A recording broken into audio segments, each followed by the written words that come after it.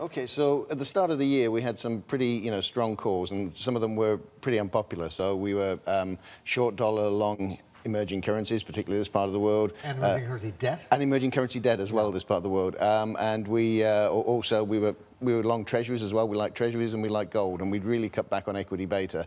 uh, just because of the risk more than anything else. How's that changed? Uh, well, what's changing is that most of the stuff we bought has gone up quicker than we thought it would and further than we thought it would. So we're really selling down a lot of the positions, not selling out of, but we're really taking profits and a bit more out of gold, out of treasuries, pretty well coming out of the EM bonds uh, okay. and also getting pretty neutral on emerging market currencies, uh, this region's currencies. So uh, actually just building up cash while we try and figure out what the next steps are. Because this is going to be my next question. That is, you're taking profit, right?